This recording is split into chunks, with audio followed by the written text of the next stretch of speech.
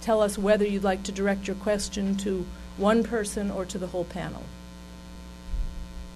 Yes, please.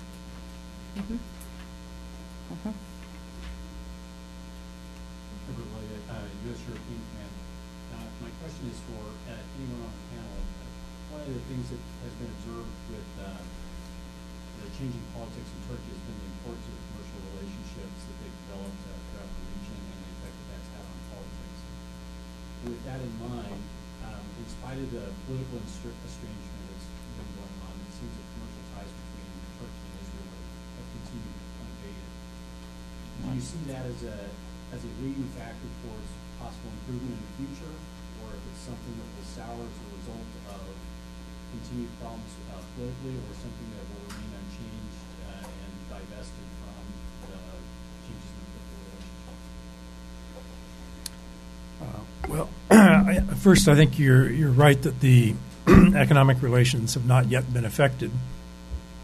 They probably will be in the strictly security areas of military um, purchases if the relationship doesn't revive. But otherwise, um, commerce has a way of kind of working its way around political obstacles. Um, uh, over time, maybe maybe a real downturn in Turkish-Iranian relations will affect their economic transactions.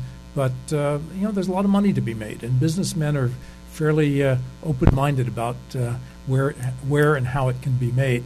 My sense from when I was in Turkey last fall is that even people who don't like the current Turkish government, businessmen, uh, more secular types, were delighted that they had all these opportunities to make money in places like Iran and Saudi Arabia and the Gulf and so forth, and they were just raking it in. So my guess is that as long as the Turkish economy is booming, they're going to be looking for business wherever they can find it, and that the politics will will not necessarily track economic uh, relations. I mean, as you said, economic relations are pretty good still between Israel and Turkey, but political relations are terrible. Please. Do you want to add? Sure. Uh, I think uh, trade has been an important component of Turkish foreign policy, especially with the AKP government. And I think the best example is uh, how uh, uh, the, the t- trade relationship, Turkey's trade relationship with the KRG, there, there are almost 400 Turkish companies. And I think that's important for, uh, for regional stability and peace and also for democratization because I think uh, currently, for example, the the Turkish government initiated uh, the Kurdish opening in 2009.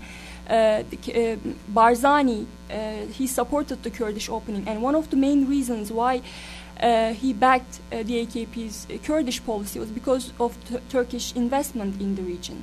They have the oil, but they don't have the infrastructure. So investment has become an important tool in that sense. And I think and, and, we read this in the democratization literature. Trade and economic relations are quite uh, important because they make uh, conflict more costly. So, in that sense, I think Turkey, Turkey um, is going to be an important player in the democratization process, not because it's a model or not because of its democratization process, but because of its economy as well.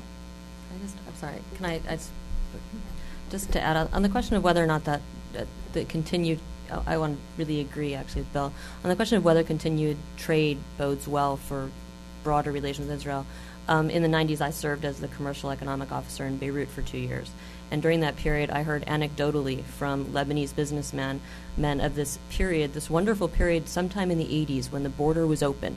It was after Israel had occupied South Lebanon and before things got ugly. There was an open border period, and trade flourished. The trade goes where it can go that didn't mean anything in terms of Israel Lebanon ties. It didn't mean anything in terms of the future of South Lebanon. Um, I, this comes back to me again to a great extent to the Middle East peace process and whether or not there is a political context that allows a healthy relationship to build. Military relationships can occur whether or not that exists, but they'll always be under strain. Economic ties can occur as long as they're allowed to occur, but the healthier, broader relationship really does depend on some broader structural problems. Sir? So, yeah, uh, just uh, two, questions. Uh, we've got a lot of complicated reasons why the Turkey is translation.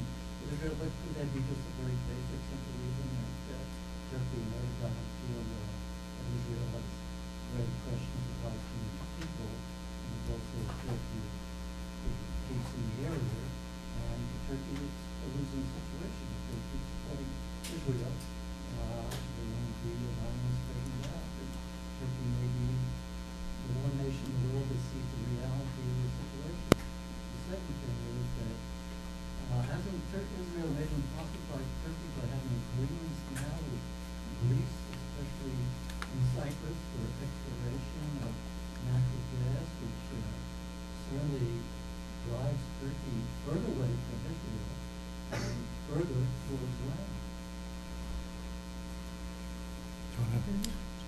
Also Um, on the first one, I, I don't think it's as cut and dry as that. I think if you look at the relationships that Israel has had around the Arab world and the Muslim world, it is not a you know a black or white issue.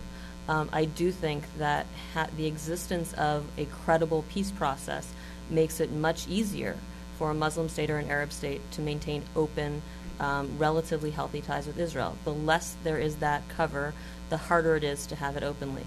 Um, Turkey has had relationships had a relationship with Israel long before there was a public peace process. It was a different flavor of relationship.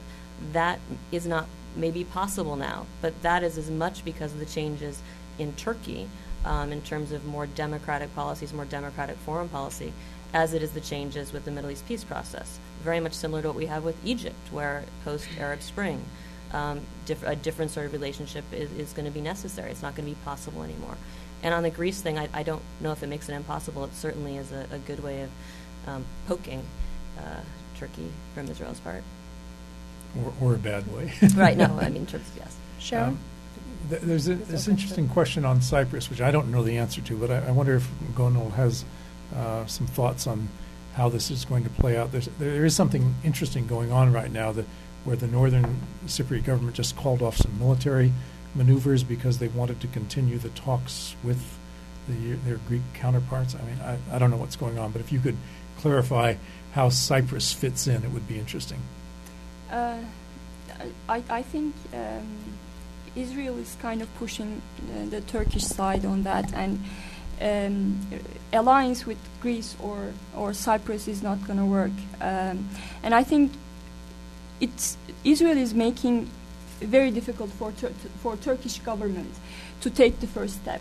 Because as I said, AKP's foreign policy, especially foreign policy vis-à-vis Israel, is quite um, popular. And no matter how much the Turkish government want to revive the relationship and go back to the 1990s, uh, especially this latest Cyprus issue has made it uh, very difficult for the government to publicly take a step back. Sharon Wiener?